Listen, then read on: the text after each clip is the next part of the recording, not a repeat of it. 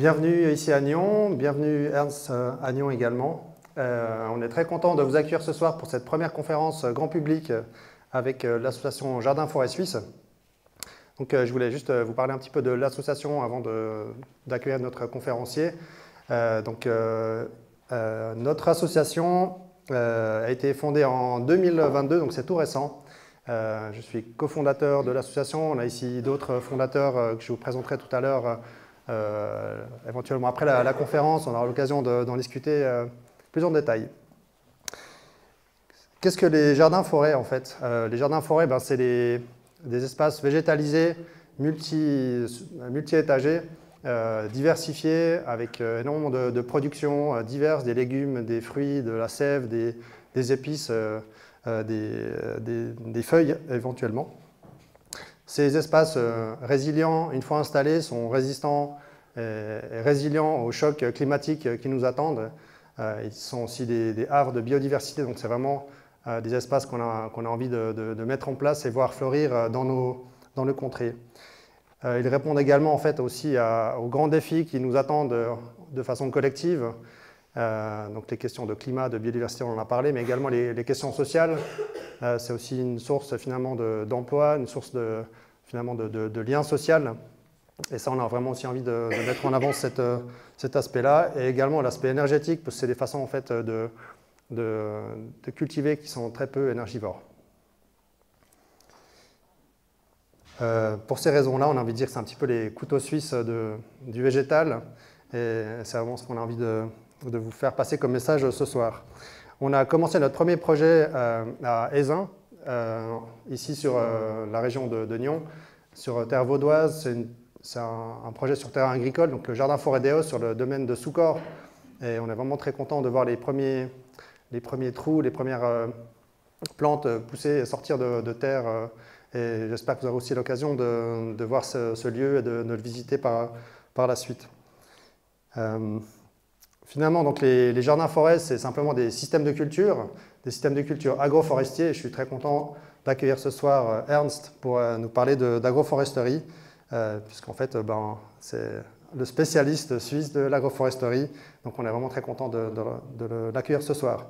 Ernst, pour ceux qui ne le, connaissent pas encore, il est docteur en sciences naturelles, ingénieur agroforestier de l'EPFZ, professeur émérite. Alors là, je vais faire la liste des, J'aurais peut-être dû faire la liste des, universités dans lesquelles vous n'avez pas enseigné.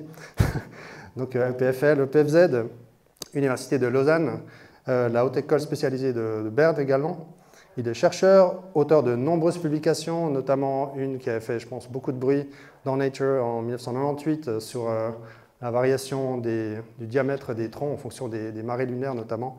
C'est quelque chose qui a vraiment, en fait, je pense, changé le, regard qu'on peut avoir sur les espaces forestiers qui nous entourent. Il est également donc, euh, auteur euh, de livres, deux ouvrages, je crois, un troisième en gestation. Euh, entre visible et invisible, c'est probablement celui qui, est le plus connu, mais je vous, invite à, regarder ce qui a été publié aux, éditions Actes Sud. Ernst participe aussi à différents projets, notamment le Sentier des Savoirs, dont il nous parlera peut-être plus en détail. Et finalement, Ernst est un amoureux de la forêt, de ses diverses forme de vie euh, qui lie finalement l'infiniment petit qui est sous nos pieds et l'infiniment grand euh, du cosmos. On s'est retrouvé il y, a, quelques mois ici euh, pour une conférence assez fabuleuse justement sur ces liens finalement entre le cosmos et le, végétal et le, vivant en général, puisque ce n'est pas seulement le végétal qui est concerné. Vous avez peut-être des problèmes pour dormir quand c'est la pleine lune. Donc on est très heureux de pouvoir parler ce soir d'agroforesterie, de de sources de fertilité et de santé. Et donc, euh, je passe euh, la parole à Ernst euh, pour une petite heure. Je vous propose de laisser les questions pour la fin et on vous donnera le, micro pour ensuite aborder ces questions-là. Et donc, je vous souhaite une, une bonne conférence. Merci.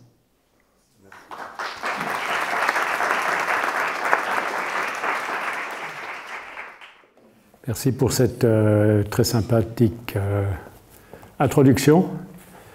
Euh, tout d'abord, bravo d'avoir euh, créé une, euh, une, entité comme Jardin Forêt Suisse. C'est très important d'avoir des, lieux où on va de l'avant, où on expérimente, mais où on reprend aussi des choses connues mais sous un nouveau jour, dans des nouvelles conditions. Et, ça, c'est intéressant, des espaces de liberté, de, création, de créativité. ça, c'est vraiment extrêmement précieux. Voilà, alors aujourd'hui on va parler euh, d'agroforesterie, on va cibler un peu plus euh, la, réflexion sur euh, justement cette combinaison de la foresterie, c'est mon cœur de métier, ingénieur forestier, ensuite biologie des arbres, avec l'agriculture dans un tournant. Il y a comme un changement de paradigme qui est en train d'avoir lieu aujourd'hui euh, on se rend compte, on va le voir aussi au cours de la présentation, qu'il y a ici et là des, choses qu'on ne peut plus continuer de la même manière et qu'il faut changer. la bonne nouvelle, c'est qu'on a vraiment des solutions, euh, souvent déjà expérimentées depuis très longtemps, mais qu'on a oubliées, euh, qu'on a mis de côté parce qu'on pensait que ce serait mieux de faire autrement.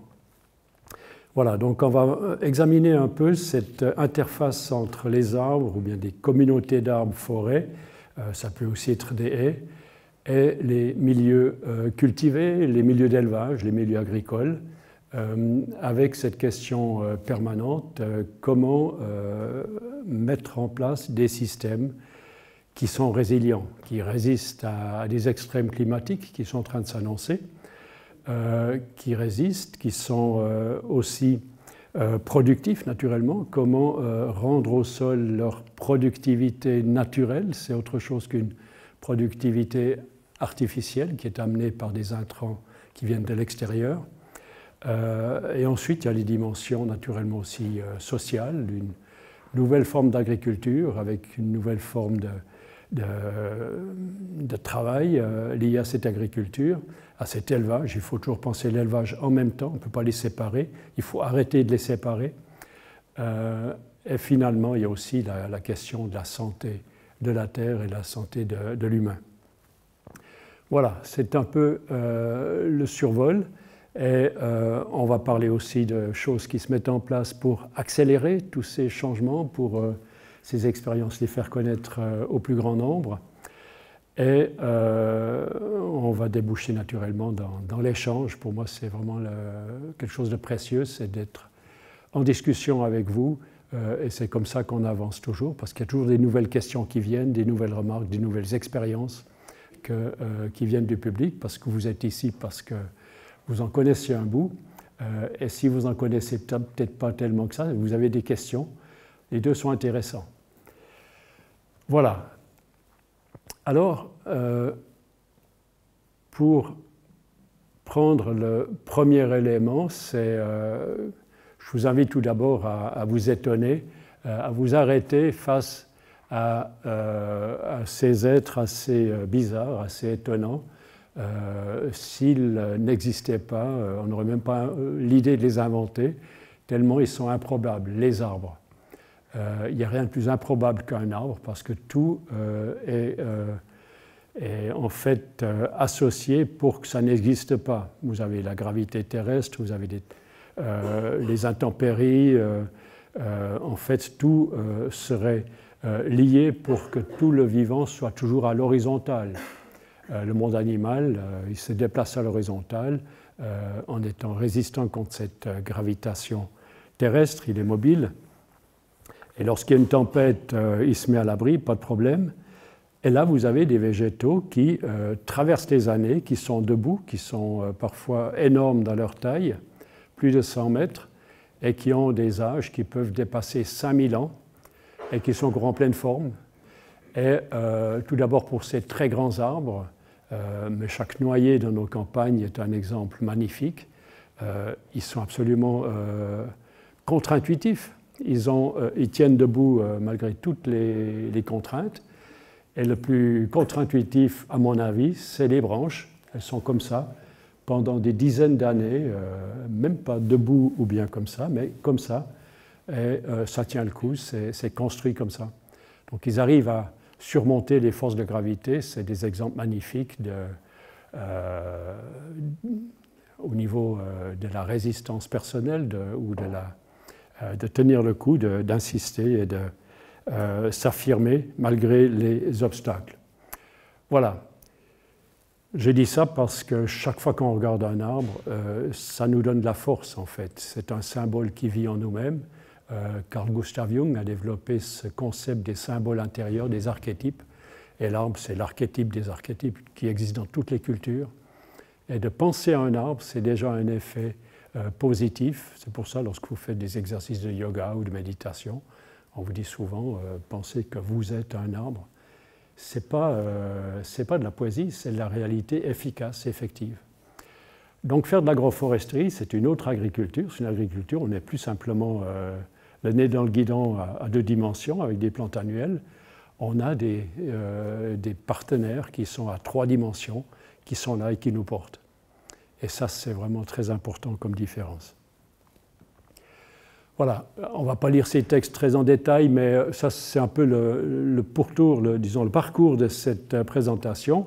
Le premier élément, c'est qu'il faut prendre conscience que les activités humaines ont profondément modifié le visage de la Terre, perturbé les équilibres atmosphériques et gravement porté, atteinte à la flore et à la faune. On a vraiment perturbé la Terre euh, d'une manière extrêmement intense. Euh, le la prochaine vue va vous faire comprendre dans quelle mesure.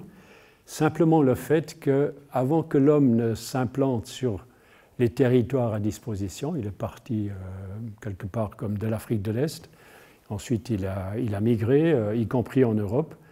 Euh, ce qu'il a rencontré au départ, c'était des zones complètement boisées. Après le retrait des glaciers, il y a 12 000 ans, euh, les forêts sont venues s'implanter, elles, étaient, s'étaient poussées contre le sud.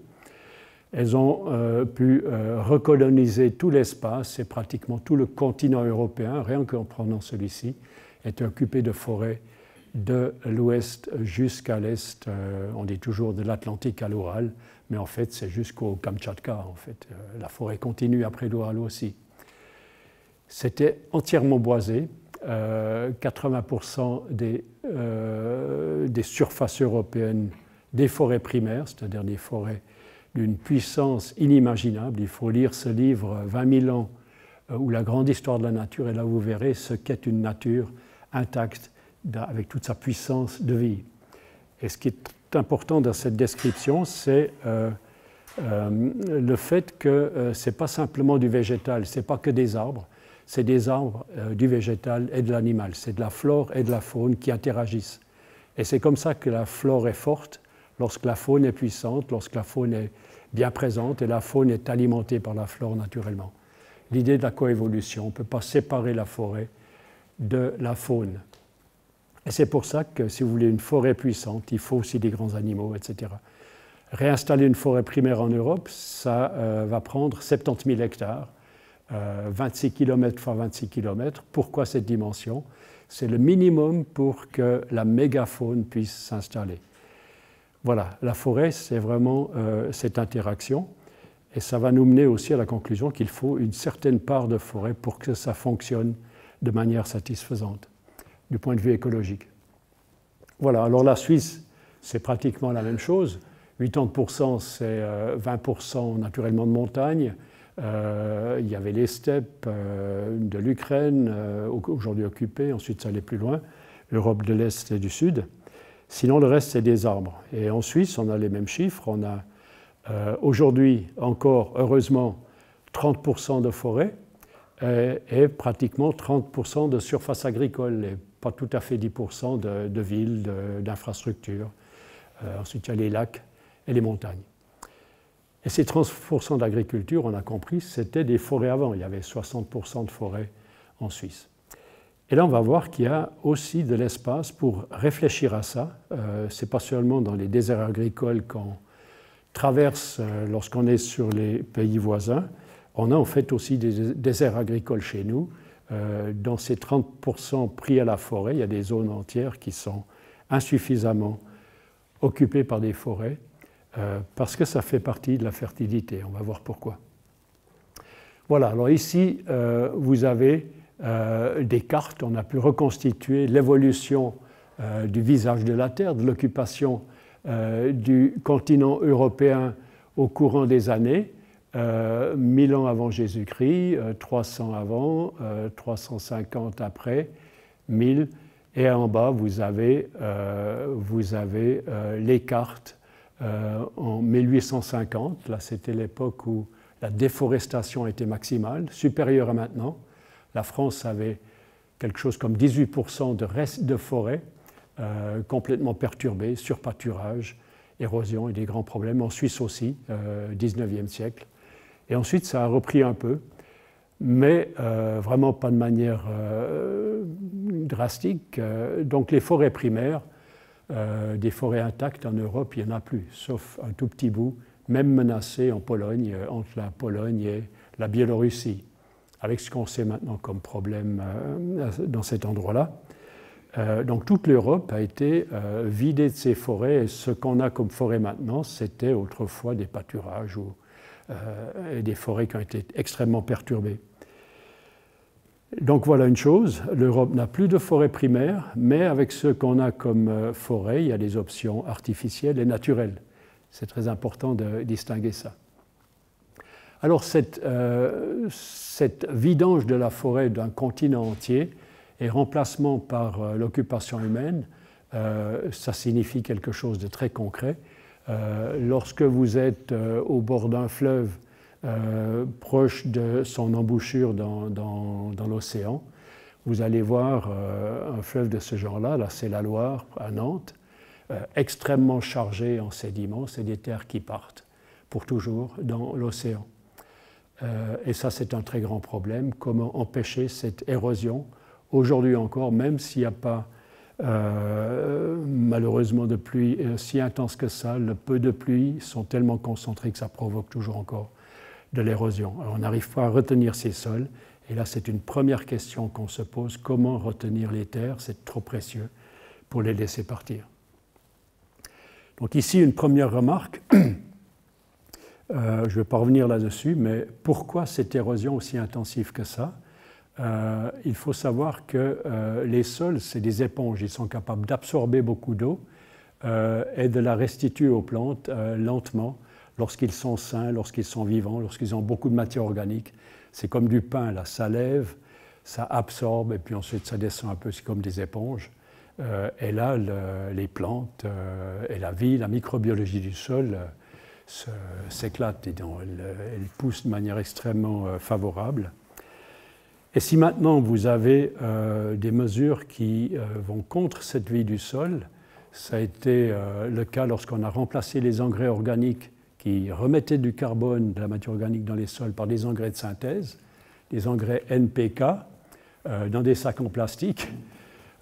azote, phosphore, potassium, il n'y a pas de matière organique là, c'est simplement des sels minéraux qui sont importants pour les plantes, mais euh, normalement, ils seraient euh, fournis par la euh, biologie des sols, ces, ces, éléments essentiels. Et on ne met plus avec les engrais de synthèse de carbone dans les sols, ou alors il faut vraiment en ajouter de l'organique. Donc la matière organique des sols a vraiment chuté de manière extrême, et en plus on emploie encore trop souvent euh, toutes sortes de biocides, insecticides, fongicides, herbicides, etc., qui naturellement euh, ont aussi un impact sur le sol, les sols tombent euh, du point de vue de la matière organique, du point de vue de leur vie, et leur capacité d'absorber l'eau est extrêmement réduite. Vous ajoutez maintenant le, coup de massue, c'est des machines de plus en plus lourdes sur des sols de moins en moins riches en matière organique. là, c'est le compactage, c'est des sols complètement compactés euh, qui sont fermés et qui n'arrivent plus à lever comme un pain, euh, comme je disais avant, et ces sols ne sont plus capables d'absorber l'eau. Donc les pluies intenses arrivent, les sols n'absorbent pas, donc ils se font, euh, ils se font agresser en surface et, et, éroder, et tout ça, ça part, puisque l'eau n'a pas d'endroit où rester. Donc voilà, c'est un peu le cocktail, euh, réfléchir à la manière d'amender des sols, réfléchir à la manière de réguler les, euh, ravageurs de culture euh, et réfléchir à la manière de travailler les sols, quels outils, et on va voir qu'on peut penser à autre chose qu'à des machines, ou alors à des machines les plus légères possibles, ce qui est rarement le cas aujourd'hui. On est presque obligé de prendre des machines de plus en plus lourdes, puisque les sols sont de plus en plus compacts et difficiles à labourer. Donc c'est un cercle très problématique qu'il faut essayer d'inverser. Voilà, donc si on enlève euh, cette couverture forestière, on a euh, compris que c'est une enveloppe de protection de la Terre. La couverture forestière amazonienne euh, ou équatorienne, le long de l'équateur équatorial, c'est une enveloppe de protection, les forêts boréales aussi, avec une autre fonction. et donc si vous enlevez ces forêts avec un certain niveau de précipitation, vous allez entrer dans un, on appelle ça des biomes, c'est des grands systèmes euh, de vie, combinaison climat-végétal, des biomes beaucoup plus secs, puisque les forêts ne maintiennent plus euh, l'eau, n'évaporent plus, ne font plus de nuages et de précipitations. Donc on a les forêts qui vont progressivement se changer en, en zone du genre savane et en, zone, du, en zone de genre steppe. euh, de moins en moins de précipitations étant à constater. Donc simplement avec le même niveau de température, on a un changement climatique du fait d'avoir enlevé les forêts. Ça s'est démontré, c'est vraiment les dernières découvertes ou bien les dernières compréhensions de la climatologie. Et maintenant, c'est la question intéressante, c'est et si l'inverse était vrai euh, Et si maintenant, si on reboisait, si on remettait des forêts, est-ce qu'on peut faire du climat avec ça? Et là, c'est la question intéressante qui a euh, déjà des réponses. Euh, qui nous encourage. Donc, euh, le constat, c'est que euh, toutes les zones cultivées souffrent d'un symptôme, d'un syndrome qui est bien défini pour l'être humain. c'est ce qu'on appelle le syndrome de déficit de nature. C'est-à-dire, lorsque vous avez des enfants qui ont de moins en moins de contact avec la nature, il y a toute une série de perturbations psychologiques qui ont lieu. On ne peut plus fonctionner normalement parce que nous sommes des êtres. Si je demande qu'est-ce qu'il y a de naturel dans cette salle, certains diront il y a les poutraisons, il y a les charpentes, euh, il y a le parquet, et en général, euh, on s'arrête là. Et personne, ou bien souvent, personne ne dit euh, mais il y a nous aussi, on est, on est aussi naturel. Mais on oublie ça, on ne se considère plus comme naturel, et c'est un problème en soi. Et la même chose euh, vaut pour l'agriculture. Euh, on est arrivé à un niveau d'artificialisation qui l'a euh, affaibli. Donc, ce syndrome, comment le définir, comment le décrire et comment le contrer? Tout d'abord, ce qui est connu, c'est qu'un paysage occupé par un certain niveau de végétation, des haies, des petits massifs boisés, euh, avec des zones humides ouvertes, des petits ruisseaux, etc., à une faune euh, bien définie. On sait à peu près ce qui correspond, c'est euh, cette représentation d'en haut. Et plus vous enlevez des éléments du paysage du type végétal, plus vous enlevez les complications du, du, paysage, plus vous allez diminuer la faune. Et à la fin, un paysage qui n'a plus d'arbres ou presque plus, plus de haies, très important les haies, euh, les, euh, euh, parties humides qui ont été drainées, etc., vous n'avez plus que quelques rares éléments de la faune, un effondrement de la biodiversité. Voilà, alors ce syndrome de manque de nature, de déficit de nature, vaut pour nos paysages également. Et là, on a des solutions intéressantes la manière la plus euh, efficace de remédier à ça, c'est euh, de réintroduire, en se souvenant d'où vient l'agriculture. L'agriculture a pris ses sols à la forêt. C'est la fertilité forestière qui a livré ces sols. On a enlevé les arbres, mais on a pris les sols. Et ces sols forestiers extrêmement riches en matière organique, riches en micro-organismes, champignons, insectes, euh, ces sols ont été généreux pendant longtemps. On a compris, on n'a rien d'autre que des engrais organiques pendant très longtemps, jusqu'à l'industrialisation. Et, euh, aujourd'hui, on a euh, ces sols forestiers qui ont été surexploités. C'est un capital qu'on a quelque part dilapidé. Comment reconstruire ce capital pour avoir ensuite les intérêts euh, de ce capital? Je suis en train d'employer un vocabulaire qui est un peu désuet. Parce qu'on associe le, mot de capital avec intérêt, et euh, c'est une chose que certains domaines de l'économie ont oublié, c'est on pourrait revenir à des intérêts intéressants. En tout cas, on ne va pas l'oublier en agriculture, c'est qu'un capital de croissance donne des intérêts sous forme de, production agricole et animale. Voilà, donc comprendre que l'arbre constitue une enveloppe de protection de la terre dans laquelle peut s'installer l'agriculture, retrouver la juste mesure, retrouver sa place dans un système vivant euh, et ne pas tout prendre pour soi et remplacer le vivant par de l'artificiel, ça ne va pas. Et là, cette notion d'enveloppe s'observe à chaque arbre. Ici, c'est un arbre tout seul qui montre déjà euh, la tendance de l'arbre. Il ne veut rien faire d'autre que de récolter la lumière, mais aussi de protéger la terre en dessous de lui pour qu'elle reste humide et fraîche. Et là-dessous, c'est intéressant euh, de plusieurs euh, manières. Voilà, alors s'inspirer du vivant, euh, c'est s'inspirer, c'est pas prendre tout pour soi, cette, cette démesure d'avoir raflé toutes les forêts et vouloir l'ensemble des surfaces à disposition pour faire ce qu'on veut oublier que euh, le vivant, c'est des échanges. L'évolution, c'est donner et recevoir, recevoir et donner. Qu'est-ce qu'on va donner à la Terre pour qu'elle continue de vivre avec nous et pour nous? Euh, Observons comment fonctionne la Terre. C'est des circuits euh, de différents niveaux, hydrologiques, climatiques. Tout est en mouvement, tout est en échange. Et si vous observez les feuilles, comment est structurée une feuille, il y a des nervures principales, des nervures secondaires, des nervures tertiaire, tout ça est un réseau extrêmement intense et c'est ça un système vivant, c'est un réseau qui échange, qui fonctionne, euh, qui reçoit et qui envoie. Euh, voilà, il suffit de s'inspirer du modèle de la feuille et une fois qu'on l'a fait, euh, on aura déjà pas mal compris.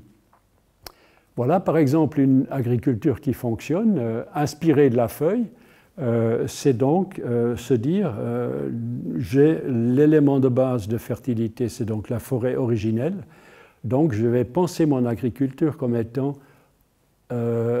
comme étant installée ou comme étant établie dans un cadre forestier, puisqu'on l'a prise à la forêt. Ce qui est nécessaire, c'est de lui redonner un cadre forestier, ne pas éliminer la forêt, puisque c'est de la forêt que vient la fertilité alors la feuille euh, continue de fonctionner si vous, euh, si vous faites des alvéoles. Et ici, selon ce modèle, on peut imaginer euh, qu'on ne va pas prendre toute la surface pour la production agricole et de l'élevage, on va faire un maillage du territoire selon le principe des nervures principales et secondaires.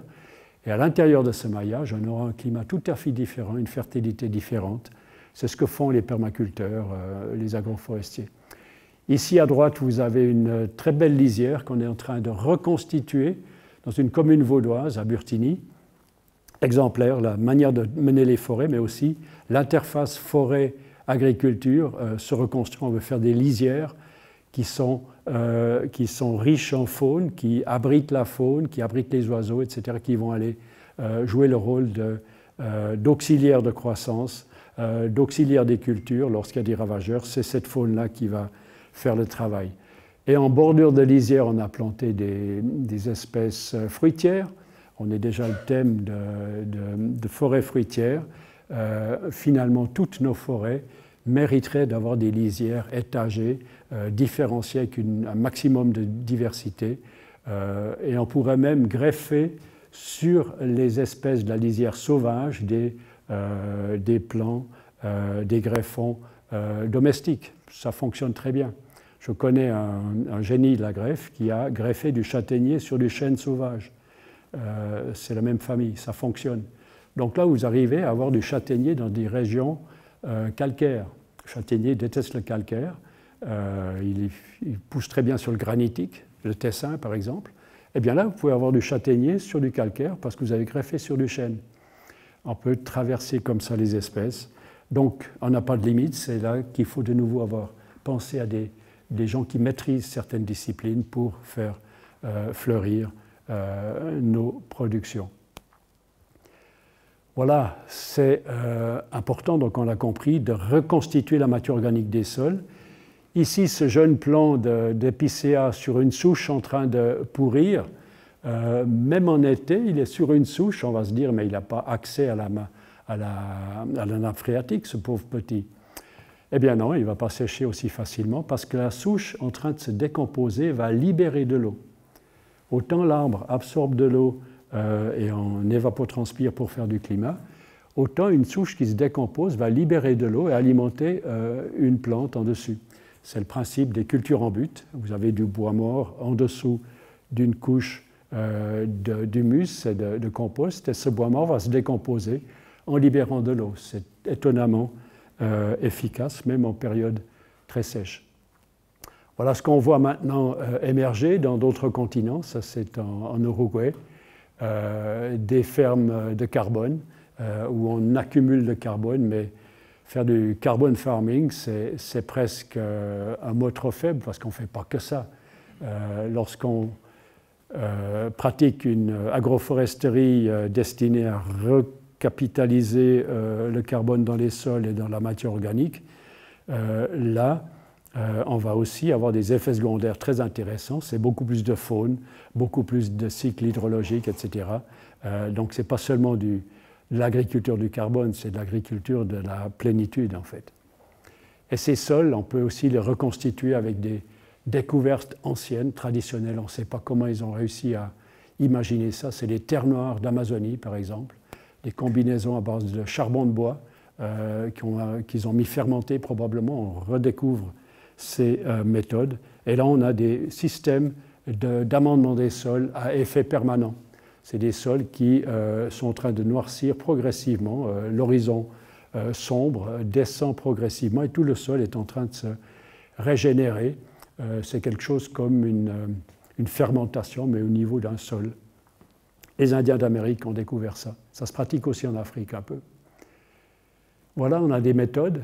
Et maintenant, euh, lorsqu'on parle de photosynthèse, c'est de la biomasse, mais tout ça, c'est toujours de l'énergie, c'est de l'énergie solaire, transformée en énergie chimique.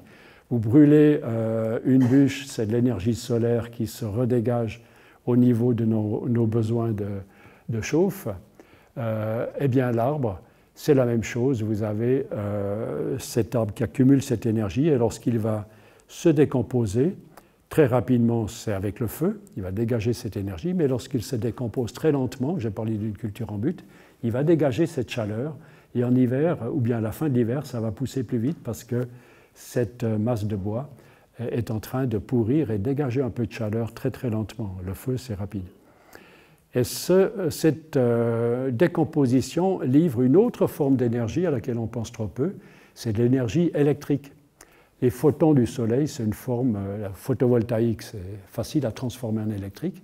Eh bien, l'arbre ne restitue pas seulement de la chaleur du Soleil, mais de l'électricité du Soleil aussi. Euh, on connaît maintenant les principes de l'électroculture. Ça existe déjà depuis plus de 100 ans. Et là, il y a des explorateurs qui continuent de travailler là-dessus. Donc, la chaleur est restituée, l'électricité est restituée, et même la lumière du soleil euh, dans les sols, dans la matière organique qui se décompose, est euh, relibérée. On a des biophotons, c'est donc des, des, quantités de lumière dégagées par la décomposition de la matière organique. Si on met des appareils de mesure de lumière très très sensibles, dans les racines, c'est comme si les racines éclairaient le sol en euh, prospectant le sol et les racines en décomposition aussi. Voilà, donc euh, la matière organique qui se décompose, c'est ces cultures en but. Moi j'étais émerveillé ce printemps encore, c'était le printemps passé. Euh, c'est étonnant comme ça fonctionne bien et là il n'y a aucune maladie. quand les plantes sont saines, les maladies ne sont plus là, même les, Certains disent que les limaces ne sont plus tellement euh, un problème. Voilà, donc il s'agit de rétablir les cycles hydrologiques en plus de la matière organique pour faire circuler euh, l'eau, en fait, élément essentiel de croissance, mais aussi permettre aux espèces sauvages, les auxiliaires de culture, euh, d'être présents et d'intervenir quand c'est nécessaire. C'est bien pour nous, mais c'est bien pour eux aussi lorsqu'il y a une intervention à faire. voilà. Les forêts, euh, du point de vue hydrologique, c'est très intéressant parce que euh, les forêts font beaucoup d'évapotranspiration. Pour faire un kilo de biomasse, même les plantes annuelles, il faut évapotranspirer 300 kg d'eau. et ça, c'est la fabrication de nuages. Le produit annexe, c'est naturellement la biomasse, au travers de la photosynthèse.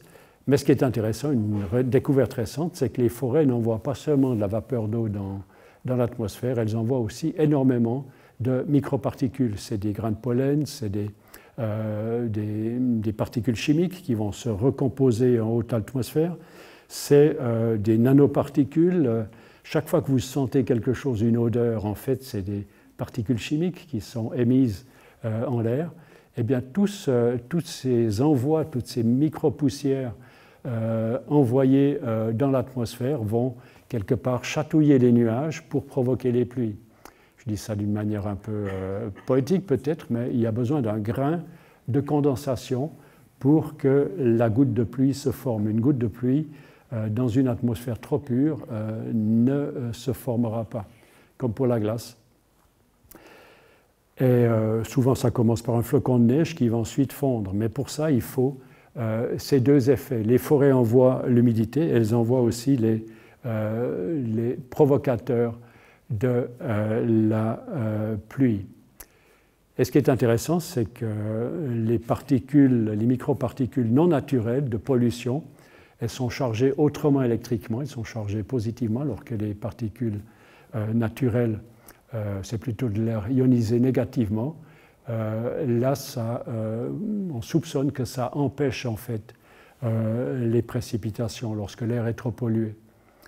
Et ça, c'est un très grand problème, puisqu'on a euh, ce problème de chaleur humide qui se déclare un peu partout dans le monde, à cause de la pollution probablement, euh, à cause des incendies de forêt.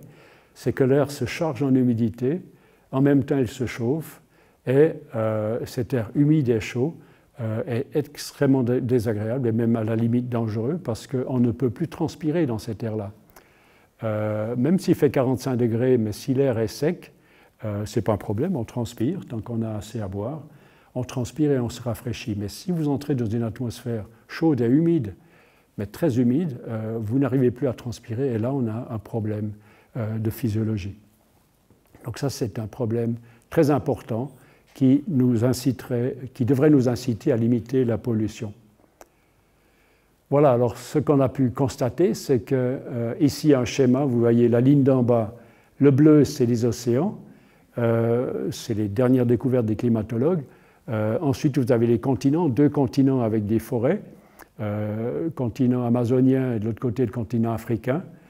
Et on a mesuré les précipitations. Paradoxalement, en dessus du trait bleu central, vous avez la ligne rouge qui fait un creux, parce qu'il pleut moins, paradoxalement, en dessus des océans qu'en dessus de la forêt de gauche, par exemple, ici en dessus. Euh, là, vous avez euh, la ligne rouge qui est beaucoup plus haute que la ligne zéro. Et en dessus de l'autre continent, c'est le continent africain, la même chose. Là, vous avez des continents boisés. Euh, il y a un effet d'aspiration des masses aériennes maritimes, enrichi avec l'évapotranspiration des arbres, alimentés par l'Amazone en particulier. ça va enrichir les pluies et faire plus de précipitations sur le continent que sur l'océan, qui n'est qu'une surface euh, d'eau. C'est paradoxal, mais les forêts sont plus efficaces que les océans pour faire des précipitations. Et maintenant, la question euh, très grave à poser, mais qu'est-ce qui se passe si on supprime cette forêt? Euh, Vous n'avez plus ce principe, plus ce système, et le système hydrologique mondial est complètement perturbé. Heureusement qu'on a peut-être d'autres, de nouvelles perspectives politiques à ce niveau-là. Pour euh, l'Europe, la même chose, entre l'été et l'hiver. Euh, ça, c'est le continent eurasiatique. Euh, eurasiatique. En été, plus de précipitations en dessus du continent boisé qu'en dessus de l'océan Atlantique, par exemple, en juillet, là. Et en Eurasie, en janvier, on a plus de précipitations au-dessus des océans que des continents. Donc là, on a un effet de compensation. Euh, puisqu'on a d'autres, euh, à d'autres euh, niveaux terrestres. Voilà, donc ça tempère ces zones. Alors ça, on l'a déjà dit, ce que les forêts reçoivent comme pluie elles vont donc le, garder dans le sol forestier. il y a un chiffre très simple, on a fait des essais avec des chênes, mais aussi avec d'autres forêts.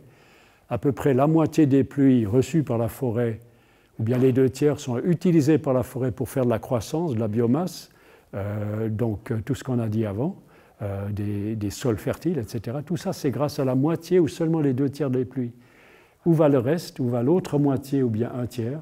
Ça va rester dans le sol, mais diffusé dans la nappe phréatique et alimenter toute la périphérie. Donc si on a euh, une zone trop sèche, euh, on peut en fait, avec un certain niveau de précipitation, en installant des forêts, vous installez, vous installez en fait des châteaux d'eau organiques et ça va diffuser l'eau euh, là où on en a besoin.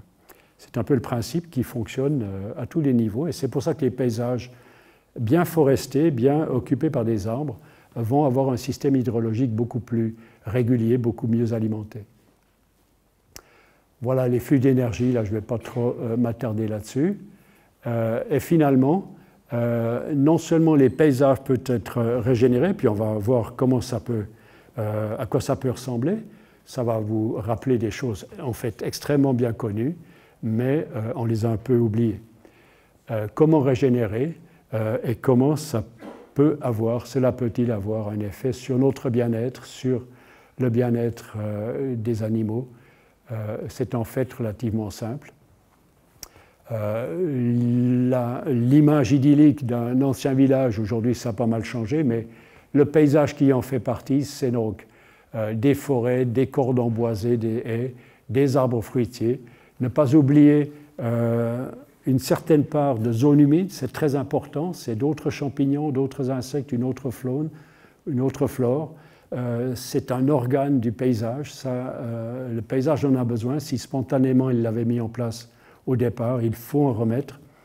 Et le reste aussi. Mais il y a de la place pour les cultures et de manière durable. De manière durable, ça veut dire que on peut être autonome en intrant. Ça, c'est le principe.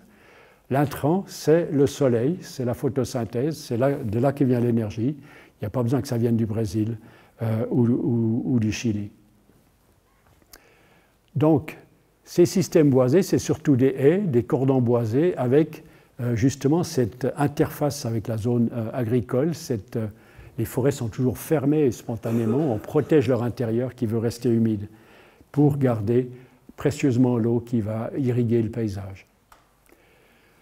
Donc maintenant, euh, lorsqu'on a provoqué des déserts agricoles, euh, comment euh, faire pour réhabiliter tout ça en réimplantant des, systèmes arborés, des arbres fruitiers, etc. il y a quelque chose qui nous encourage, c'est la loi de Pareto. C'est la loi des paresseux. C'est-à-dire qu'avec 20% d'efforts, vous avez déjà 80% du résultat. Et si on pense ça jusqu'au bout, on pourrait même dire, euh, c'est la loi qui fait conclure que les imbéciles, c'est ceux qui veulent 100% du résultat, parce qu'ils ont besoin d'ajouter 80% euh, de l'effort. Donc ça coûte énormément cher d'être euh, exigeant à ce point-là, de tout vouloir pour soi. C'est contre-productif déjà de ce point de vue-là. C'est une loi tout à fait reconnue en économie, justement, là où on apprend à calculer euh, donc il faudrait aussi euh, s'inspirer de cette loi en écologie, en, agriculture. C'est qu'avec 20% de quelque chose de nécessaire, on a déjà 80% euh, de ce qu'on escompte. Entre parenthèses, c'est une loi qui, me fait comprendre pourquoi j'aimais bien les étudiants qui appliquaient cette loi, ceux qui visaient le 4, 4,5 sur 6. Ça, c'est les plus intéressants parce que ils avaient le temps pour faire autre chose. Les pauvres staccanovistes qui voulaient du 6 partout, euh, ils étaient euh, étudiants euh, de, métier. Ils n'avaient rien d'autre, pas de temps libre, pas de hobby, rien du tout, tout était concentré au travail. Eh bien, une fois dans le monde du travail, ne pas avoir de passion et de hobby, c'est quelque part même un, critère négatif, parce qu'on n'a plus la fantaisie de penser autrement. On ne pense qu'avec les œillères du travail. Donc ces étudiants-là étaient très intéressants et je les retrouve ensuite comme chefs d'entreprise, etc. Alors que les autres, des fois, ça finit par un burn-out. Donc euh, Pareto, c'est bon pour les paysages et pour d'autres domaines aussi. Voilà, alors on va se dire, ces déserts agricoles, euh, c'est bon pour la France, ça existe en Allemagne, on a traversé ces immenses zones en train, il y, a, des terres labourées, des terres labourées, c'est à perte de vue. Mais en fait, on a aussi nos petits déserts agricoles, aussi dans le plateau suisse. là, c'est tout à fait une vue normale de nos conditions de travail agricole. Ça, on va dire, c'est normal, c'est la Suisse, ça fonctionne bien.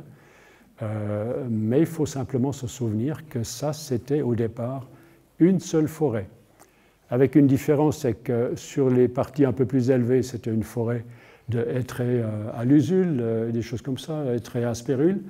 Et la zone sur le devant, ça c'était une zone plutôt marécageuse. Elle s'appelle encore Ried Maté en Suisse allemande, le pré, le pré humide, le pré mouillé, la moille, on dirait ça dans le canton de Vaud. Euh, et là, on voit euh, qui traverse ici, je ne peux pas vous le montrer, mais il y a un canal d'irrigation, donc c'est donc pas pour alimenter en eau, c'est pour, pour euh, évacuer l'eau. Et toute la zone du devant est naturellement drainée pour amener l'eau dans ce petit canal linéaire. Donc ici, on a reconnu l'importance de faire des mesures écologiques payées par la Confédération donc vous reconnaissez ici une route euh, en bas avec euh, un petit tracteur ou un véhicule et une deuxième qui vient euh, de gauche. là c'est plutôt un chemin de terre. Mais jusqu'à la ferme, il n'y a rien d'autre, juste le canal d'évacuation, les champs étaient côte à côte. Et là on a fait une mesure d'intérêt écologique qui a consisté à cela. Donc Maintenant, je suis ici, euh, j'étais là de ce côté avant. Euh, le canal, vous le voyez là, qui va contre en haut. Euh, la route, c'est celle qui va d'ici à là. Et le petit chemin de terre, c'est celui-ci là.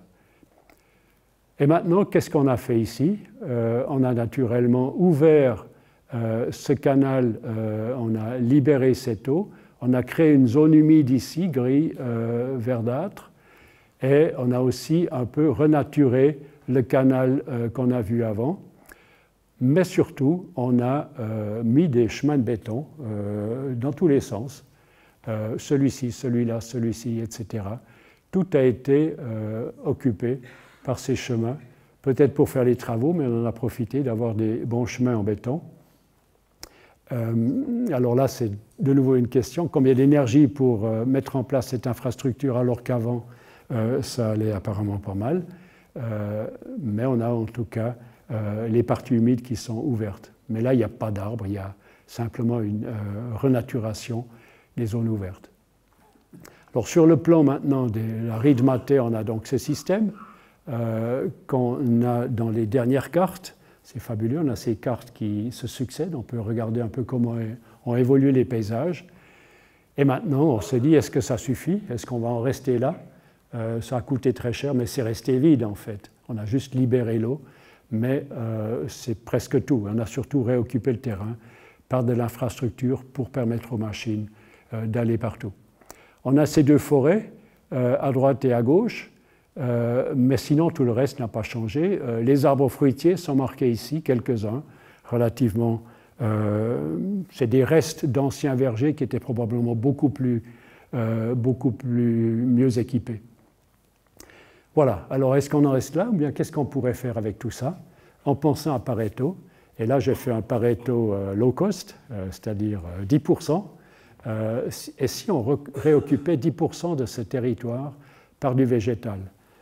Des arbres individuels, des haies, des cordons boisés, et surtout relier du sauvage avec du sauvage, faire des corridors de biodiversité. Ces îlots de forêt sont très inconfortables euh, il faut que la faune puisse aller de l'un à l'autre. C'est comme ça que ça doit être. Donc, ce qu'on peut faire, c'est ceci. Voilà. 10% a été remis sous forme de végétation. Alors, regardez, euh, les, euh, après des rides matées, vous avez donc ce, cordon, ce cours d'eau renaturé. On le reoccupe, on l'accompagne avec une haie. Une fois d'un côté seulement, il ne faut pas que l'eau soit entièrement à l'ombre, il faut aussi des zones peut-être à la lumière d'autres endroits euh, à l'ombre des deux côtés. En bas, vous avez un cordon qui va relier les deux massifs forestiers. Euh, les routes peuvent quand même passer. Et surtout, à partir de gauche, le long des lignes de niveau, euh, on va surtout mettre en place des haies pour empêcher l'érosion, empêcher que l'eau finissent en bas de la plaine sans avoir été utiles. Donc les haies sont très difficiles à franchir pour les autres surfaces, ça les oblige à aller en profondeur. Et ce qui est important, c'est que ces haies ne soient pas simplement une ligne d'arbres, parce qu'à droite et à gauche, on va passer avec les machines, et les sols de la haie seront compactés presque comme les sols euh, agricoles, parce que le compactage se fait euh, en partie latéralement par rapport au, poids de la machine. Ce n'est pas simplement vertical, ça va dans les deux sens. Donc les haies, il faut toujours les construire, euh, les mettre en place avec au moins deux rangées, ou bien plus, quelque chose comme 5 ou 10 mètres de large, et là, vous avez un intérieur de la haie et un extérieur de la haie. Donc l'intérieur de la haie ne sera jamais impacté par les machines, euh, vous avez accès depuis l'extérieur. Et là, vous avez les éponges maximales et aussi intéressantes pour la faune. Et là, c'est intéressant pour la faune aussi parce que des haies larges à double, à double membrane, c'est des haies qu'on peut tailler une fois d'un côté et quelques années plus tard de l'autre. Vous pouvez alterner la taille et vous aurez toujours vos haies une fois c'est un côté qui est taillé, une fois c'est l'autre, parce que c'est vraiment intensif. Il y a beaucoup de matière organique qu'il faut régulièrement tailler. Donc ces c'est vraiment des structures permanentes, sous contrôle, qui vont avoir l'effet de euh, faire euh, infiltrer l'eau dans les sols. Et ajouter naturellement des arbres fruitiers. Euh, voilà à peu près à quoi ça pourrait donner. Et là, c'est un paysage qu'en fait, on a en mémoire. On avait autrefois presque tous les paysages comme ça. Mais si on les restructure, on va les restructurer euh, machines compatibles, simplement pour que les machines puissent continuer de travailler, tout en sachant que les machines ne vont pas rester les mêmes euh, définitivement. Juste ici une toute petite euh, parenthèse, les machines sont devenues de plus en plus lourdes. Et en France, par exemple, on a un million de tracteurs. Ces gros tracteurs, combien pèse un tracteur Combien de tonnes? 5 à 10 tonnes, c'est ça, c'est considérable. De plus en plus cher, des paysans de plus en plus, euh, de plus, en plus endettés, naturellement. Eh bien, il faut savoir que ce million de, tracteurs, euh, euh, la, décarbonation, comme ils appellent ça, passer au tout électrique, c'est pour dans une quinzaine d'années, à peine, 2035, 2050, ça dépend. En train de... Eh bien, si on passe au tout électrique, il faut simplement savoir que ça ne sera pas pour les tracteurs. Euh, ces grosses machines ne peuvent pas être électriques. Ils devraient transporter une batterie aussi grosse qu'eux-mêmes pour avoir cette puissance. C'est une, euh, nouvelle qu'il faudrait vraiment euh, mettre prendre en compte. Donc les tracteurs électriques et, l'électricité de toute façon ne suffira pas pour tout ce qu'on consomme aujourd'hui. Dans 15 ans, on n'aura pas d'électricité pour tout le monde comme aujourd'hui. Tout le monde a de la mobilité à base de fossiles. Ça, c'est des, projections assez sérieuses, très bien documentées, qui, se font, euh, qui, obligent à réfléchir. Alors, s'il n'y a plus de tracteurs électriques, euh, ou alors les tracteurs deviennent de plus en plus petits. Euh, là, c'est de nouveau jouable. Si c'est des tracteurs de tonne ou d'une demi-tonne, mais là, on est dans le micro-tracteur, c'est dans le maraîchage, etc., comme dans les vignes. Et là, c'est plus le problème du compactage, et là, ça peut redevenir électrique, mais pas ces immenses machines. Et ces réflexions, euh, mener jusqu'au bout avec le manque d'électricité à disposition, même si les machines étaient là, c'est la perspective, c'est euh, qu'il faut se préparer à l'agriculture du futur. Et là, on est très très concret, on est très très euh, proche de ce qu'on connaissait déjà, mais avec d'autres perspectives, d'autres méthodes, c'est refaire appel aux animaux de trait. C'est paradoxal, on n'aurait pas pensé en arriver là, mais c'est des projections.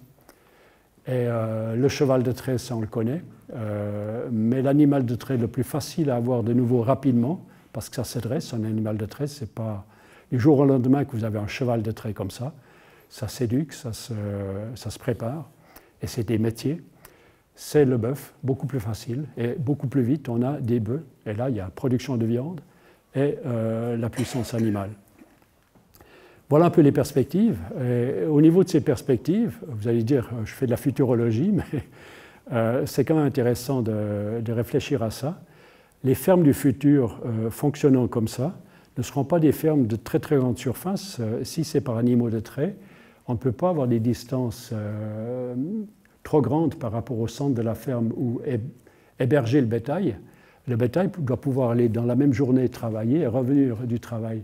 Donc c'est quelque chose de, finalement de très tranquille et ça limite les fermes à quelque chose comme 25 hectares de surface maximale, 500 mètres x 500 mètres. Ça, c'est les fermes du futur, comme esquissées par les gens qui réfléchissent aux énergies du futur. Et ça, c'est une bonne nouvelle.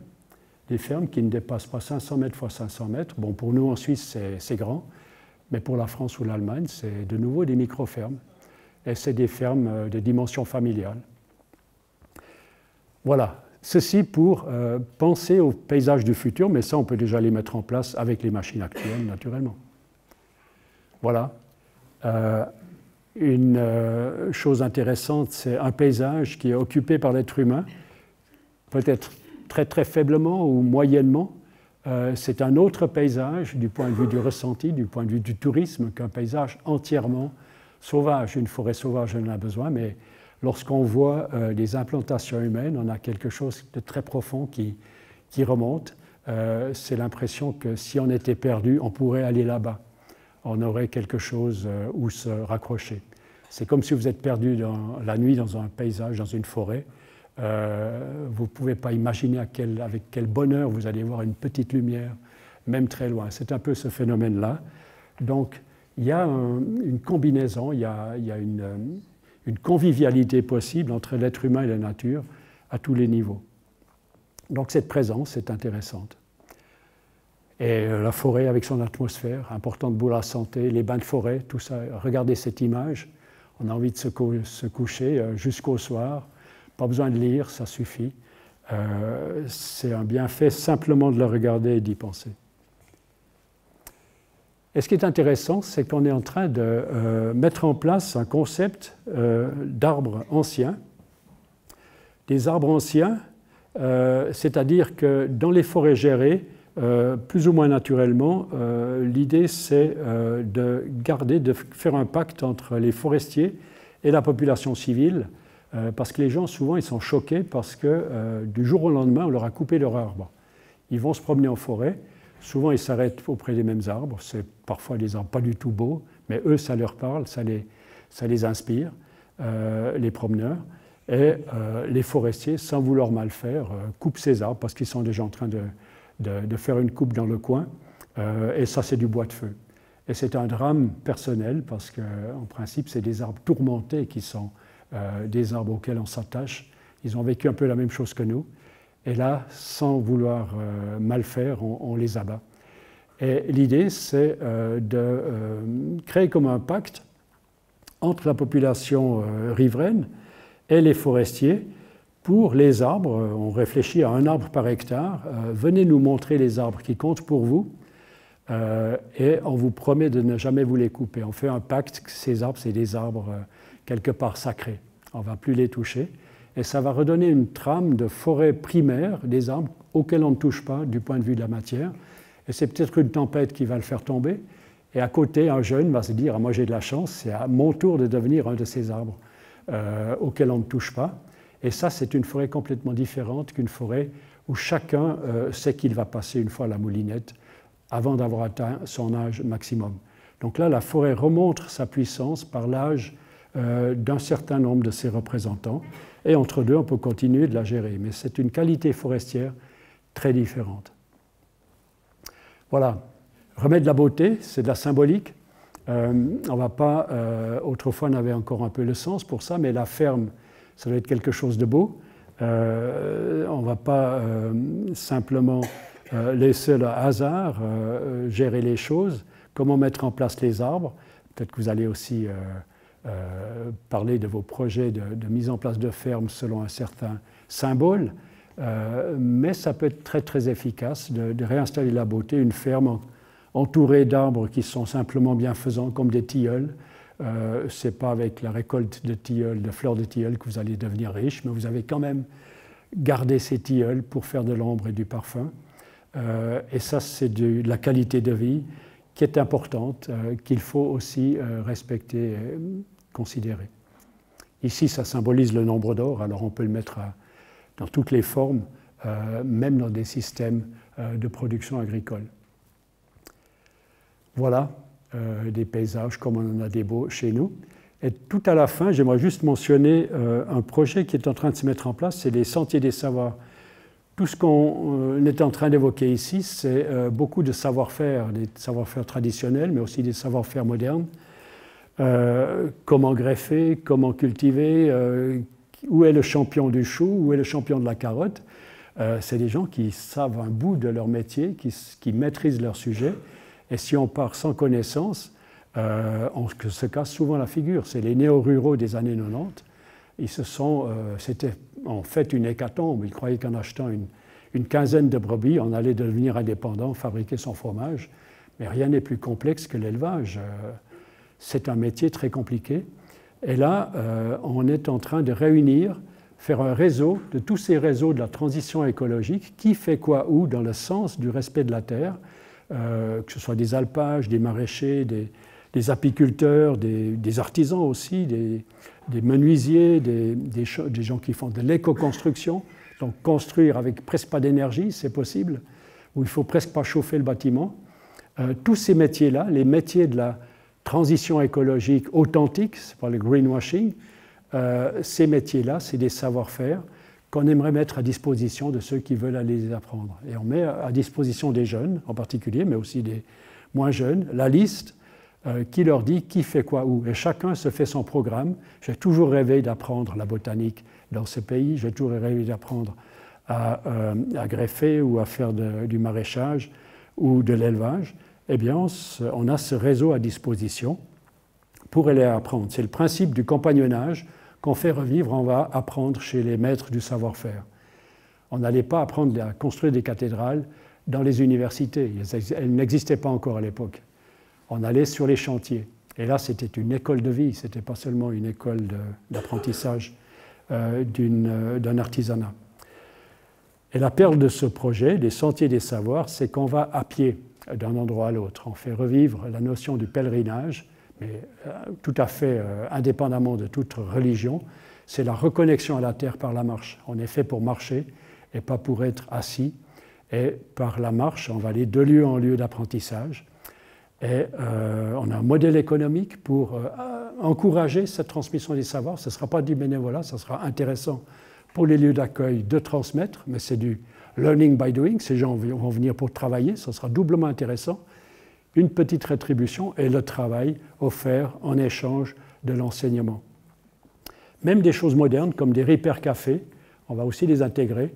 Comment réparer les objets, c'est aussi un savoir-faire très important où on arrête avec l'obsolescence programmée.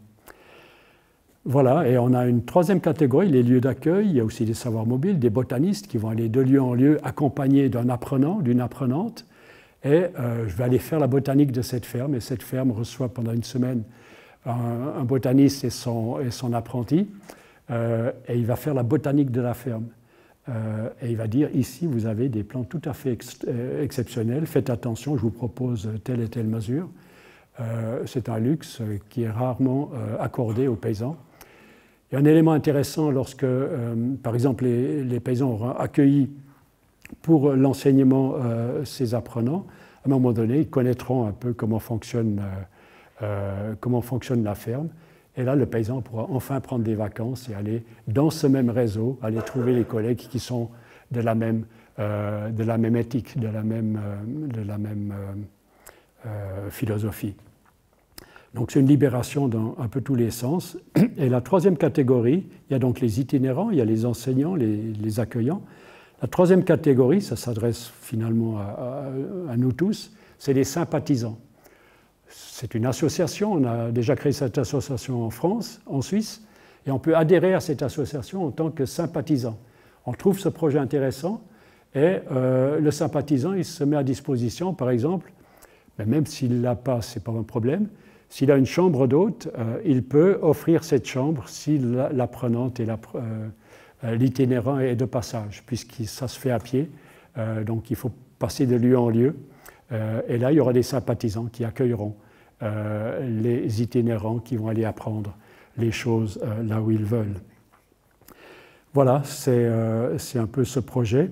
Et, ces sympathisants peuvent aussi accueillir plus longtemps. Je dis souvent, s'ils ont une bonne bibliothèque, alors L'itinérant reste une semaine, il n'y a pas de problème. Euh, et c'est comme ça qu'on va euh, permettre finalement concrètement euh, à chacune et chacun de contribuer à ce réseau qui est en train de susciter beaucoup d'intérêt, même du Liban, on a eu des échos très très positifs, du Portugal et maintenant de la Colombie, il y a beaucoup d'enthousiasme pour ce modèle. C'est un nouveau modèle. Pourquoi est-ce qu'il est intéressant? Parce qu'il ne veut pas se mettre lui-même en avant, il veut mettre en avant les lieux qui ont déjà montré qu'ils font les choses autrement dans le sens de la euh, vraie transition écologique. Voilà. Euh, si ça vous intéresse, j'ai des petits flyers pour euh, avoir les contacts avec ces, lieux. Et bien sûr, tout le monde est invité. C'est très très peu de, de, taxes ou bien de, primes d'adhésion. Et, là, on est ensuite, on fait partie d'une grande famille qui, qui, qui veut ce même genre d'avenir basé sur le partage, l'interaction entre les arbres et les cultures, entre les humains. Voilà, c'est ce que je voulais vous dire. J'ai un peu dépassé le temps, mais euh, la discussion sera peut-être quand même encore euh, possible. Merci pour votre attention.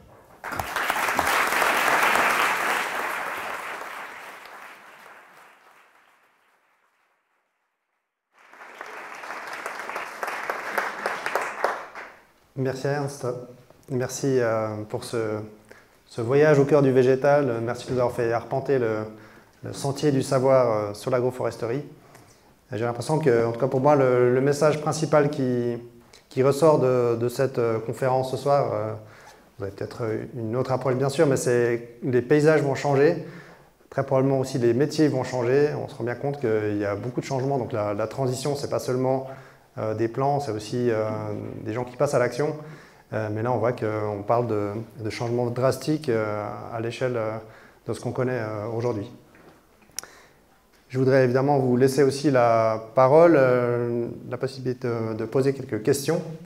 Euh, donc je ne sais pas s'il y a déjà des, gens qui auraient des questions brûlantes. Simplement levez la main et on passera le micro.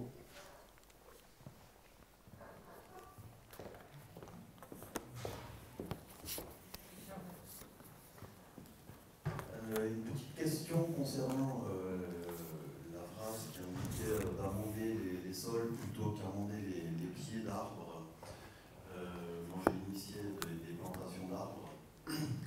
J'ai effectivement euh, constaté qu'en amendant les, pieds d'arbres, on retrouvait de la terre. Euh, refaire un sol, c'est environ 20 ans. Il y a une interaction avec l'ombre qui est portée des arbres. Ouais, je ne sais pas quoi faire. Se concentrer sur le sol ou planter des arbres, les laisser pousser et petit à petit s'écarter au niveau oui. Donc ça dépend euh, naturellement de la configuration du sol. Est-ce que c'est un sol plutôt séchard ou plutôt humide? Euh, On va choisir des arbres différents. Euh, et aussi, les pieds d'arbres, en arboriculture, on aime bien employer justement ce qu'on appelle le bois raméal fragmenté, vous connaissez certainement, pour mettre beaucoup de matière organique, même en surface. Ça imite en fait ce qui tombe des arbres, il y a beaucoup de ramis, de rameaux, euh, des feuilles mortes, tout ça tombe simplement en surface et est ensuite décomposé par les vers, euh, les insectes, et ça, ça alimente le sol euh, surface, sur place. Et là, on se rend compte que lorsqu'on fait ça avec du jeune matériel ligneux, c'est pas simplement du bois, du bois de feu qu'on aura haché et mis sur le sol plutôt que de le mettre dans le fourneau. C'est du jeune matériel ligneux relativement humide, riche en sels minéraux, riche en sucre aussi. C'est là-bas que les sucres sont stockés, c'est pas dans le cœur du tronc. Et euh, là, on voit que c'est d'autres champignons qui se développent, c'est des, champignons supérieurs, comme on les appelle. Alors ça, c'est euh, comment alimenter ces sols. Euh, pour que ça fonctionne bien, il faut naturellement que, l'humidité reste au maximum. Si une zone est exposée au soleil, à la, au dessèchement, euh, surtout sur le versant sud. Là, vous aurez plus difficilement de la matière organique qui va euh, s'accumuler. Euh, il faut que, ça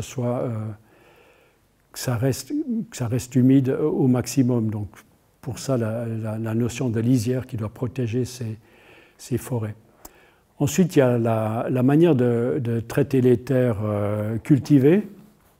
là aussi, tout le monde est un peu en expérimentation on est en train de, redécouvrir une méthode très efficace pour accumuler la matière organique dans les sols cultivés, c'est le couvert végétal permanent. On sème à travers une couverture végétale. C'est en fait la notion d'enveloppe forestière, mais avec les plantes annuelles. On fait une enveloppe organique. On cultive des plantes euh, riches en azote, par exemple, la luzerne, etc. Et on l'aplatit et on lui laisse euh, se décomposer. Et le printemps suivant, on sème, ou bien avant, on sème dans ces plants. actuellement encore, il y, a, un problème, c'est euh, les adventices, les plantes indésirables dans ces cultures. Euh, et, là, on a encore, euh, il y a malheureusement encore la solution, euh, le raccourci avec les herbicides.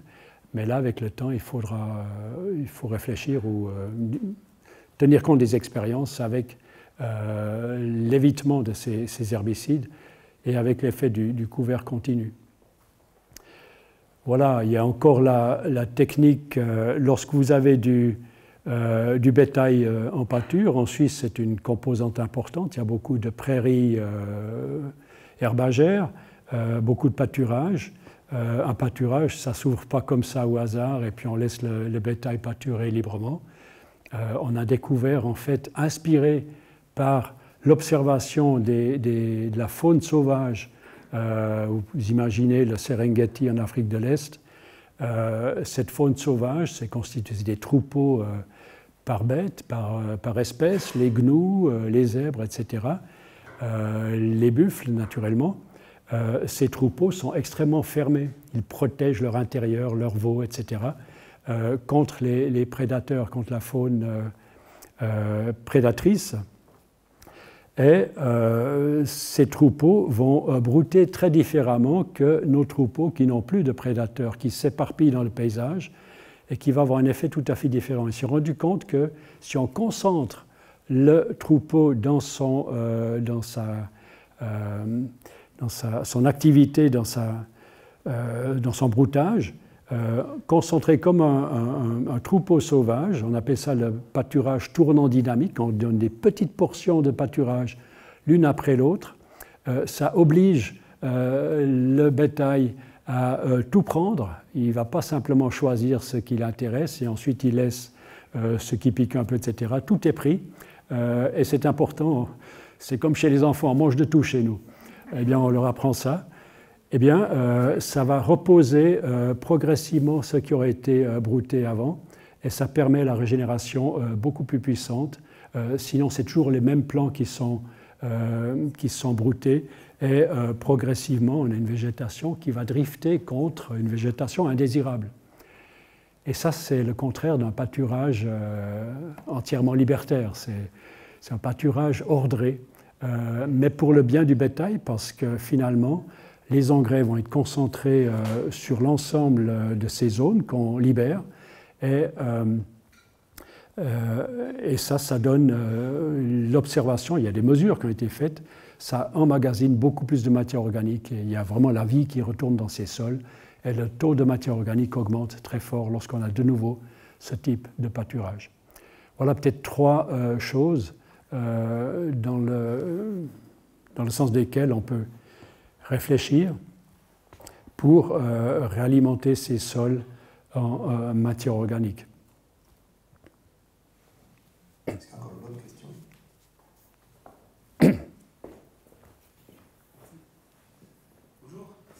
Est-ce qu'on a à peu près une idée des différences de, rendement qu'il y a entre une culture traditionnelle et une culture euh, agroforestière Sachant qu'il y a des surfaces qui diminuent un peu, comme on l'a vu sur le plan. On a euh, des intrants qui sont différents. Euh, je pense qu'aujourd'hui, peut-être on a, une grosse différence, pour le futur moins, ou c'est quoi un petit peu les plans c'est intéressant, lorsqu'on parle de rendement, il faut savoir de, quoi on parle. Est-ce qu'on parle de poids de carotte ou bien est-ce qu'on parle de, rendement d'une ferme dans son ensemble? Tout, d'abord, euh, le rendement en termes de, production de matières végétales, de produits agricoles. Euh, à côté du schéma euh, Pareto, il y avait une image de Reckenholz, où ils sont en train de faire des expérimentations d'agroforesterie, où ils ont introduit 20% du territoire euh, d'avant euh, sous forme d'arbres fruitiers. Le reste, c'est une culture d'orge, je crois. et le calcul a montré que globalement, c'est à peu près équivalent, même si on donne une autre affectation à 20% de ce, terrain. Ça, c'est si on reste au niveau du, de la production. Mais si on fait le calcul total de rendement, c'est en fait ce qu'on obtient avec un certain effort, c'est toujours la même loi.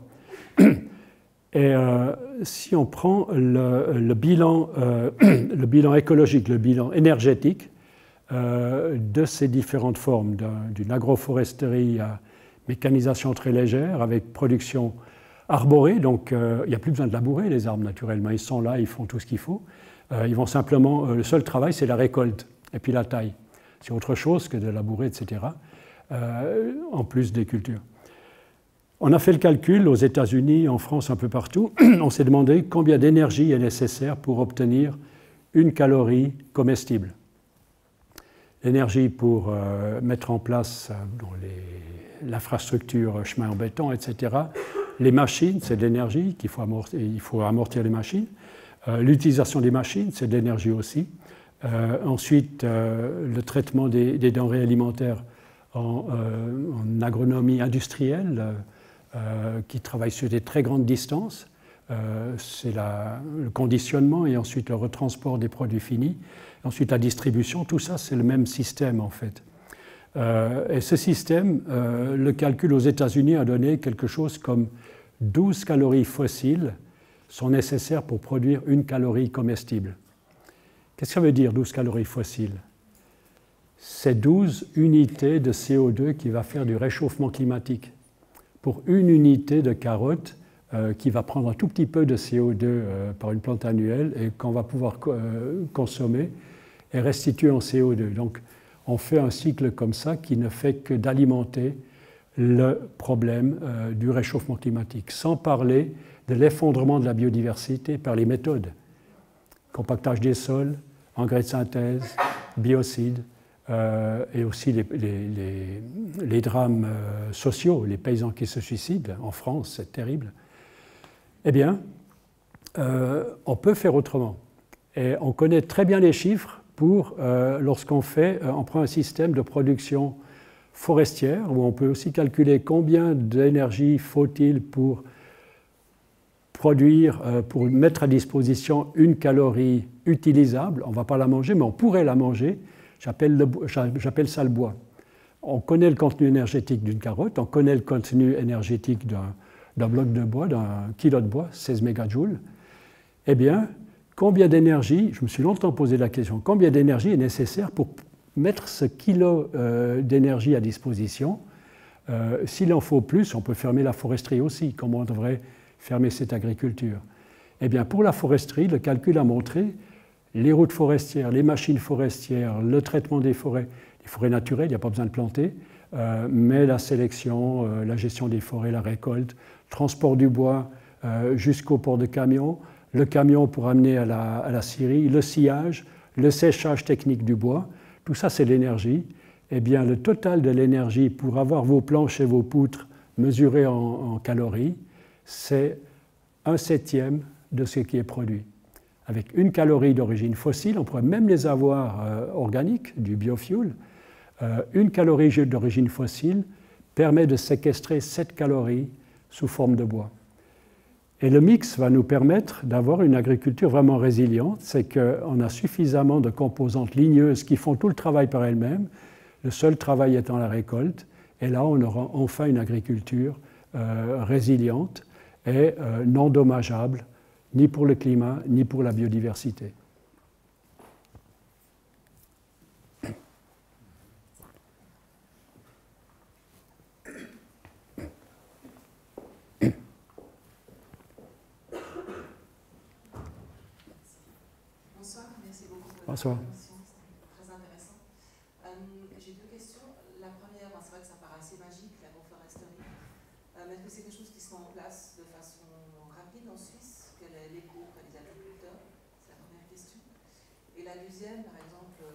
est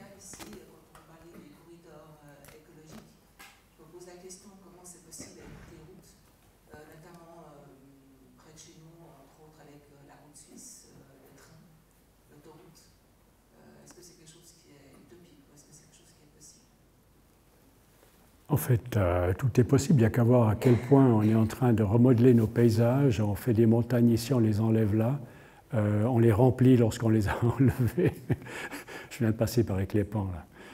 Euh, eh bien, bien sûr, tout ça, il faut que ça fonctionne, il faut que ça échange, il faut que ça circule.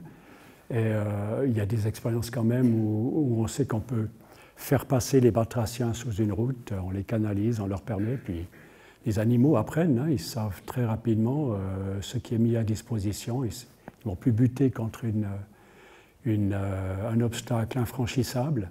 Euh, tout ça, c'est une intelligence qui, va en, prendre, en tenir compte. donc là, en fait, si une fois on se donne un but, on est en train de préparer une grande conférence à Genève sur l'arbre, l'enfant et la forêt primaire. Euh, à quel point l'éducation des enfants, cette, prise, euh, cette prise en main de ce, déficit de nature, euh, les bains de forêt, l'école à la forêt, tout ça, on va en faire un grand, un grand forum de quatre jours à Genève qui va culminer avec le thème de la forêt primaire, le projet de Francis Allais, une forêt primaire en Europe. Mais c'est cette forêt de 70 000 hectares ça semble beaucoup pour un agriculteur, mais c'est ridicule. C'est très très peu pour un forestier. Euh, pour la France, je pense c'est 26 km x 26. Et là, on va faire déboucher la réflexion dans euh, la notion, bien dans la, dans, dans la constatation qu'une forêt primaire toute seule, euh, ça sert presque à rien. C'est comme un zoo dans une ville. C'est joli à voir, mais ça ne fonctionne pas. Ça, ça fonctionnera avec sa faune interne, mais ça sera quelque chose euh, comme une bulle. Là où ça devient intéressant, et là on est en train de changer le, discours en disant, mais chaque département a le droit d'avoir sa forêt primaire. Euh, il faut vraiment avoir des, imaginaires et des, perspectives euh, qui nous donnent une direction.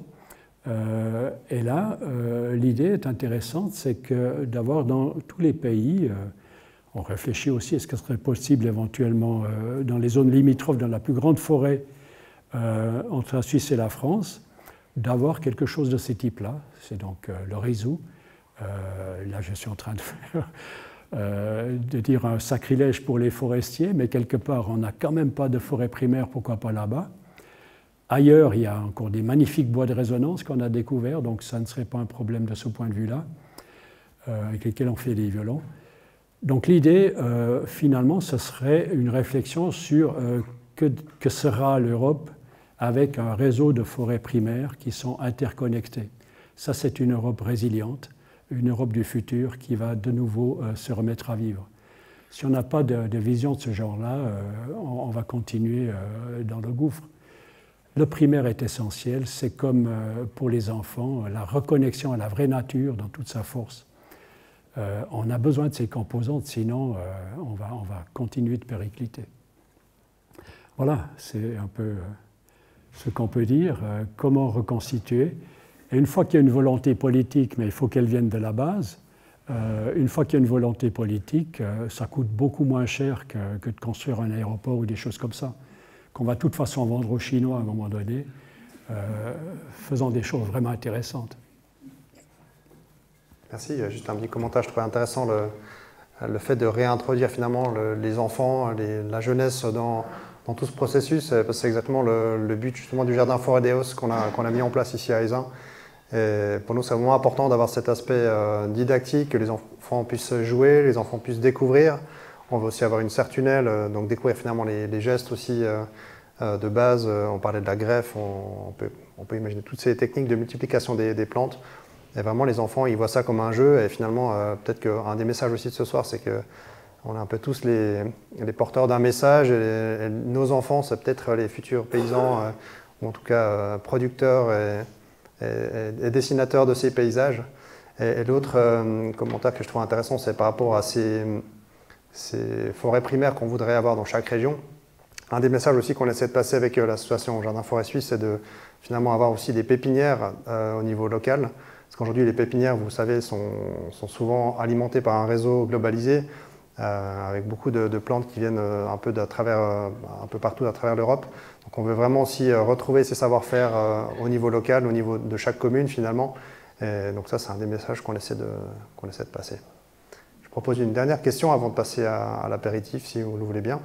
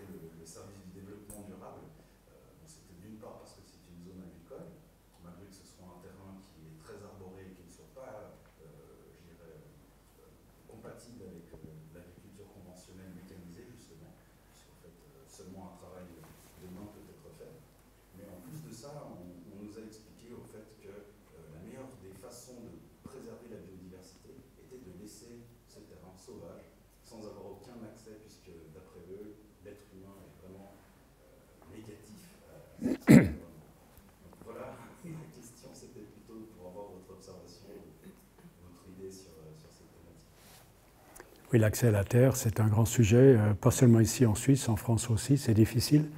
Il y a une organisation intéressante qui s'appelle Terre de Liens en France, qui, réunit des budgets et qui aide euh, de manière très favorable euh, à acquérir des terres. C'est très intéressant, je crois lié à une banque alternative aussi. Euh, ici chez nous, ou indépendamment aussi, on a ça sous les yeux, euh, l'idée d'avoir ces, grands réseaux avec cette même optique, ces sentiers des savoirs, euh, j'ai souvent été contacté par des, anciens qui sont en train de finir leur carrière euh, de paysans. Euh, il y en a venu me dire qu'il aurait bien aimé montrer comment on greffe, mais ça n'intéresse personne. Et là, on est en train de mettre en place un réseau où il aura vraiment sa place et où on ira le trouver pour lui permettre de euh, donner son, testament euh, euh, artisanal, montrer comment ça fonctionne. Et là, notre idée, c'est aussi de, de permettre, faire un pont entre ces fermes qui, sont en train de disparaître parce qu'elles elles ne trouvent pas de repreneurs, avec, disons, avec les, propriétaires ne voulant pas absolument euh, faire encore euh, du bénéfice euh, financier avec. Je pense que c'est déjà un bon bout de chemin si on remet en contact ceux qui sont à la recherche de terre euh, avec ce genre de ferme. Il y a des fermes qui vont encore fonctionner normalement pendant 20 ans, mais à un moment donné, il y a ce roulement et remettre en contact ceux qui sont de, de cette optique. Et là, il y aura peut-être un peu plus de facilité à, céder le territoire, le terrain, à quelqu'un qui est venu pour apprendre à faire comme on pense que c'est juste. Je ne veux pas dire qu'on va se figer dans des pratiques, mais euh, c'est une pratique qui est euh, faite dans une euh, certaine optique de respect de la terre. Là, je pense que ça va aussi dans ce sens-là, c'est d'inviter tout le monde à entrer dans ce réseau et les fermes en train de devoir changer de, de, de euh, vont trouver beaucoup plus facilement ce qui lui convient vraiment.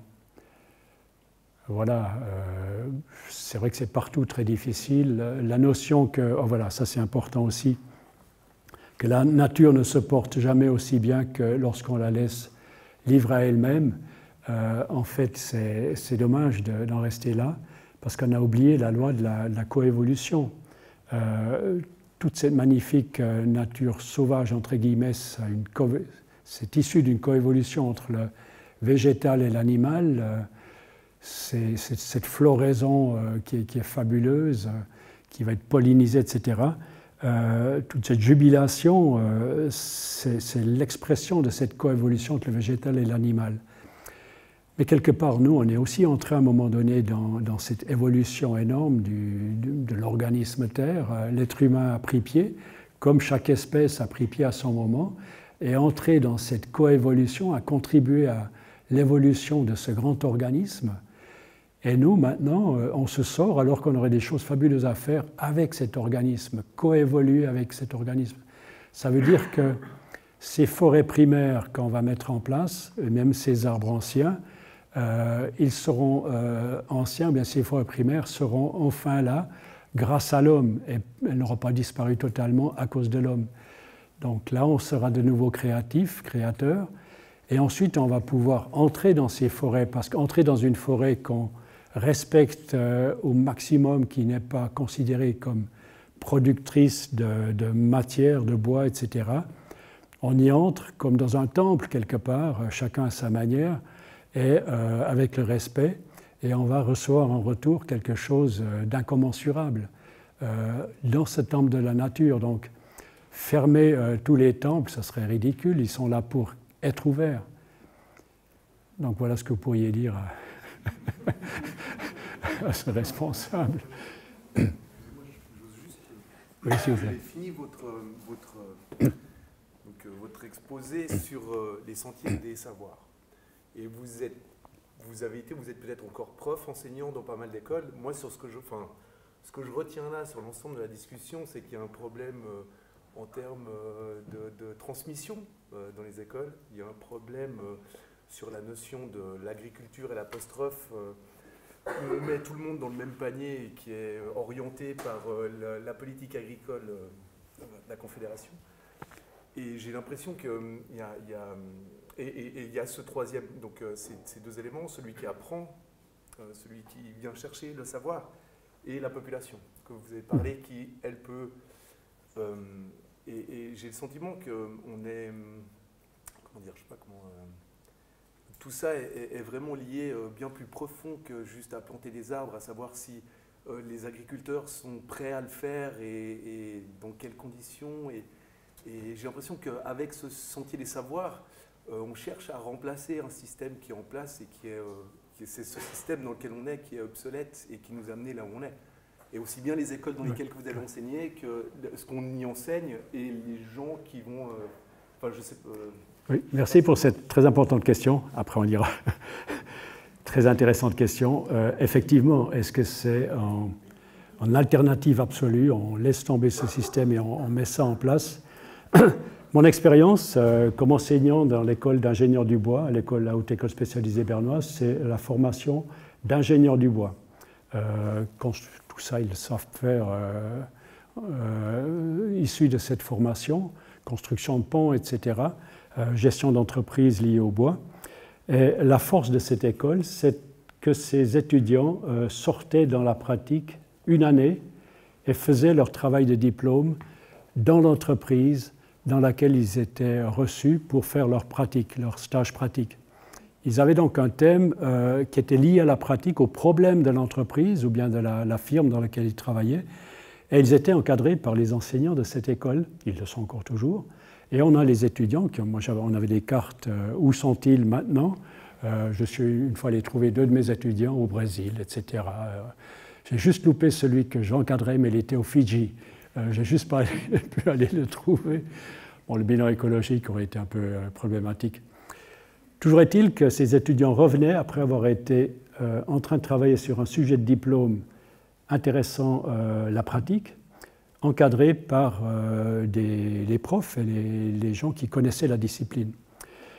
Voilà, donc ce système dual suisse est très très fertile, très très puissant, très très valable euh, et nous montre qu'il faut associer les deux, il faut associer l'enseignement et la pratique. Un jour d'enseignement ou deux et euh, le reste de la semaine, on est dans l'entreprise. Et là, c'est un peu pensé de la même manière. On ne veut pas se mettre en opposition, on veut offrir ça en complément des écoles. Les élèves peuvent aller là, chacun détermine combien euh, de temps il va entrer dans ce réseau, par intermittence, naturellement, soit pendant les vacances, soit il fait un sabbatique. Mais c'est même ouvert à ceux qui n'ont pas fait d'école, qui ne savent même pas lire. Il n'y a pas besoin de savoir lire pour apprendre à greffer, ni de savoir écrire. Tout le monde est invité à entrer dans ça parce que c'est des gens qui veulent apprendre des pratiques, qu'ils soient universitaires et ça en plus, ou bien que ce soit uniquement ça, euh, ce n'est pas un problème. Donc on ne veut pas se mettre en, opposition et on, crée les Sentiers des Savoirs Suisses avec une euh, fondation euh, établie à Genève qui s'appelle ZOEIN, Z-O-E-I-N, dont le responsable est responsable de la, du, du, master durabilité, ou bien elle est très impliquée dans le master durabilité de l'Université de Lausanne qui a été construit par Dominique Bourg, qui accompagne extrêmement euh, positivement euh, ce projet-là. Donc là, on est vraiment en train d'essayer de faire une synthèse, une passerelle qui va permettre d'aller de l'un à l'autre et de revenir s'il le faut, euh, plutôt que de faire des barrières et des, fossés. Merci d'avoir soulevé ça. Merci, je propose qu'on s'arrête là. On pourrait probablement en discuter toute la nuit. je voudrais encore qu'on applaudisse chaleureusement Ernst.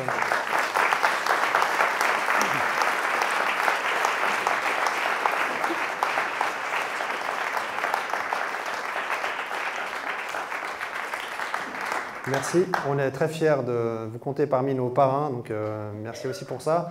Euh, je voudrais juste, euh, avant qu'on conclue par l'apéritif, vous rappeler la date de notre prochaine conférence, c'est le 25 avril à Lausanne.